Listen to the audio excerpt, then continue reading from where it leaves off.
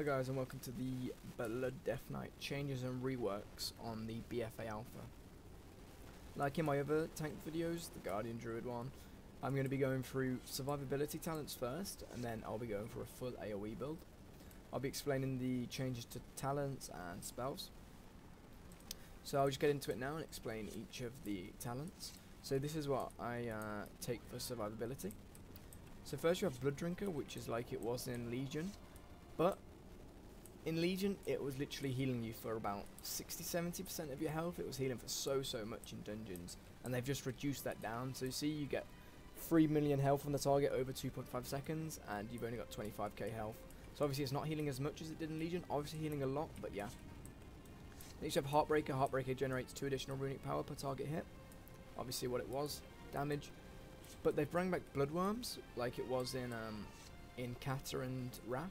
So your auto attack critical strikes have a chance to summon a Bloodworm. Bloodworms deal minor damage to your target for 15 seconds and then burst, healing you for 15% of your missing health. If you drop below 50% health, your Bloodworms will immediately burst and heal you for heal you. So this is this to me is just insane. It's just so so good. I remember Bloodworms back in the day, especially in PvE, it was just so so good. Especially due to the fact that ads aren't killing your bloodworms and they're just going to be chunking away at this at the um at the ad you're just not your blue bloodworms aren't just to die. And if you you can save a lot of your bloodworms just just save them up until you know you don't have defensive. So if you don't have a lot of bone armors up or you know that vampiric's off cooldown icebound fortitude and anti-magic shell you can just let your bloodworms pop. And especially it's that the the fact that if you drop below 50% health your bloodworms will immediately burst heal you. It just allows you it just allows you that safety barrier it's like another it's kind of like another purgatory due to the fact that once you drop below 50% health they're just going to burst heal you. So it's really really good and I think Bloodworms is just OP so I'm pretty sure they'll nerf that but for the time being I think Bloodworms definitely better than Heartbreaker and Blood Drinker. You're going to get way more damage out, damage out of it especially because they explode and you're going to get way way more healing. So for your next one so Spectral Deflection I'm going to take this into consideration since it says not yet implemented and to be decided. That's what that one means. Obviously, that will be changed when um, the alpha comes out. So next one, Death Strike extends the duration of Icebound Fortitude by two seconds.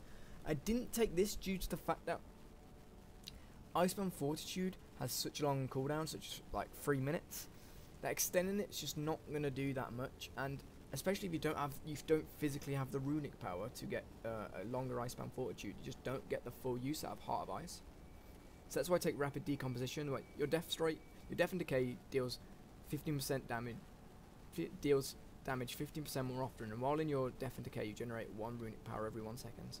So the, the survivability build I'm going for incorporates around. If I go down, just skip past this middle one for a second. Red Thirst, spending runic power will decrease the remaining cooldown on Vampiric by one second per 10 runic power. So I'm trying to get as much runic power as possible to get my Vampiric back off cooldown, because Vampiric, once you've got Vampiric up, you're pretty much unkillable as a DK. You're going to do so much self-healing, going to be, be so, so tanky. So that's the aim of just spending as much runic power on my death strikes and everything else as possible. Just so I'm getting re Red Thirst, working more and more often. The other ones you get on um on this talent tree's tombstone consumes up to five bone shield charges for each charge consumed. You're getting six runic power and blah blah blah and absorb damage equal to 6% of your maximum health for 8 seconds. I don't like taking this due to the fact I want to keep as much bone shields up as possible. In BFA there's been a really really big push on blood DKs and that in Legion you're allowed to let your bone shields drop off now and then, but now it's really really punishing. If you let them drop you're going to be taking so so much damage. So that's why Tombstone's not that good because you, again you've got to build up your um you got to build up your bone shield again using up runes. So that's why Red Thirst is the best. And Mark Blood places a mark of blood on an enemy for 25 seconds. The enemy's damaging auto attacks will also heal their victim for 3% of the victim's maximum health. I don't like this due to the fact that these other talents are just going to be doing more for you than this Mark of Blood. I don't know if they'll increase the healing of um, of this to maybe 5%. But yeah, we'll see. But for the time being, Red Thirst. So on the middle one, the 58 talent, you have Blood Tap. Uh, consume Shadowy Essence, maximum 2 charges, recharge time reduced by 2 per second whenever a Bone Storm bone shield is active. I don't like taking this, and I like taking anti-magic barrier um, more. Anti-magic shield also increases your maximum health by 25% for 10 seconds. This means that now anti-magic shield just becomes that ex just becomes an extra um, defensive. Even if there's not, even if you're not taking spell damage, that anti-magic barrier just is just another defensive for you, which is just really really good. And Ossuary, where while you have at least five bone shields active, the cost of Death Strike is reduced by five runic power. But obviously, when we since we've taken Red Thirst, it's just not going to be good because we want to be spending as much runic power as possible. Now for my next tree, this is really down to you. But what you don't want to use is Tremble Before Me. It's just really, really bad. Enemies damaged by your Death and Decay have a chance to cower in place. Especially when a target's cowered. If you've got a dot class, the cower will either break all the dots or the cower will just not be non-existent because it's breaking because of the dots. So it's really down to you what you want. So there's March of the Damned, which is Wraithwalk lasts 100% longer and breaks everything. Obviously this is really, really good, especially for tanks, because obviously if you get stunned, you're pretty much dead. But with this, it can break a stun. But one thing I like is Tightening Grasp, so it reduces the cooldown on Gorefiend's Grasp by 30 seconds, like it did in Legion, but it, your Death and Decay also reduces the movement speed of enemies within it by 50%. This means that when you're using Rapid Decomposition, you can also kite all your targets. So when they're walking through this Death and Decay, they're going to be so slowed and taking so much damage from the Death and Decay. Even though you don't have that much speed, you can literally just kite them through the Death and Decay, and you're keeping up aggro on them because they're getting damaged, and you can just run and just keep running, not being hit. Especially if you have no defensives up, you can just kite the pack. Obviously on a boss this wouldn't work, and March of the Damned would probably be better for a boss fight. But Tightening Grasp just really, really good. And Gorefiend's Grasp's obviously the spell which grabs everyone together, which is really, really good for all DPS. So for your next talent, Foul Bulwark, each charge increases, each charge of Bone Shield increases your maximum health by 2%.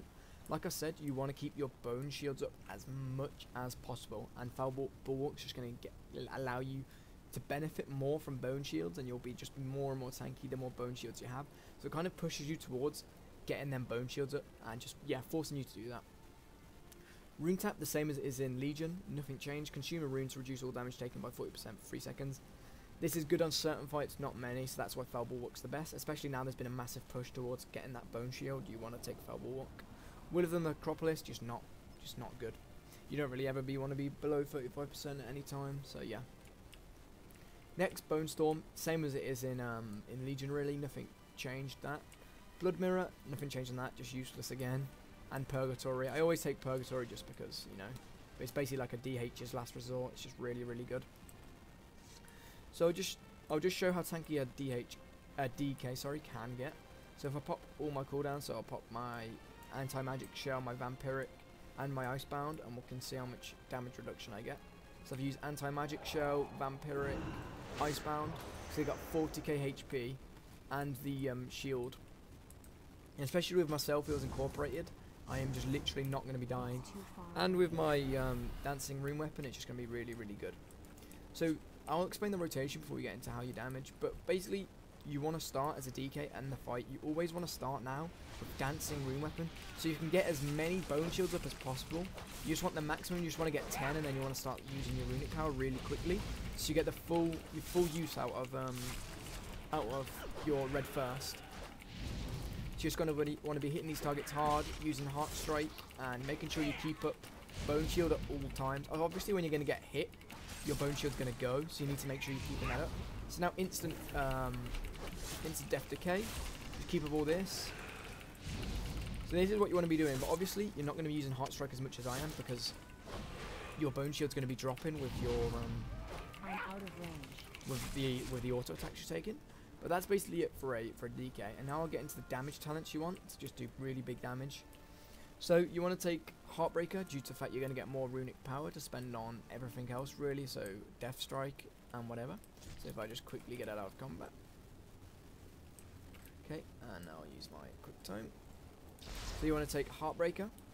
And for this, Rapid Decomposition again is good because obviously you're going to sit you're going to sit ads in your Death and Decay and obviously if they're taking more damage in that Death and Decay it's just really, really good for you. Again, anti-magic barrier, especially because we're going to be using Bone Storm now, and that's going to use up your, um, that's going to use up um, runic power. We just don't want to be using that. We want to be using your, um, we're going to be using anti-magic barrier just for that extra HP and that extra survivability. So next, you want to take Red Thirst again. Due to the fact this build, you're going to be spending a lot of runic power. a lot, a lot of runic power, so that it gets even more of an effect for your vampiric blood, and you're going to get that up quicker, and you're going to survive more, and it's just going to be really, really good for the whole group. Next, you want is a tightening grasp again, due to the fact that you can pull all the ads together and just do big damage to them. So grip them all together, and then you can obviously heart strike, and you can put down the death and decay. So all targets are in your death and decay, and they're getting slowed and taking loads of damage from rapid decomposition. So next what you want to take is um, Foul Bulwark again, due to the fact that you're going to have Bone Shields and obviously them increasing your health up is just going to be really, really good. Um, next, you just, yeah, Bone Storm all the time. You're going to be doing so much damage with Bone Storm, especially once you've used Gorefiend's. So you just want to make sure that you're just using your Bone Storm when you've got as much, um, when you've got as much runic power as possible. You mainly want to be using it around, maybe around 50, so that you can use it and then use a um, an extra death strike soon after. So you can use a death strike soon. Use. You got to make sure as well that you keep your um, keep your blood plague on the target. So obviously, as you can see, because that, that, target was in my death and decay, it was slowed, so I could could have, could have kited it. But basically, this is it for DKs.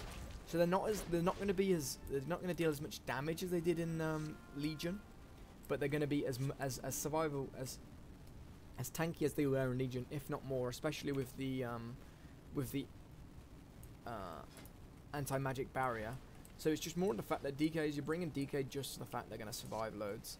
And mobility is still cooked, but but although you have Death Advance, which allows you to you know not get slowed, it's just DKs are just the man-made tank. They're just not going to die. They're not going to do as much DPS now, especially after some of the changes to their talents but they're just not gonna die. They're gonna be up for just so long, dealing. Yeah, just not gonna die. They're gonna be a, a man mountain. So yeah, that's it for the Blood DK guide. If you want more guides, then like and subscribe, and comment if you want me to change anything for future videos, and see you in the next one.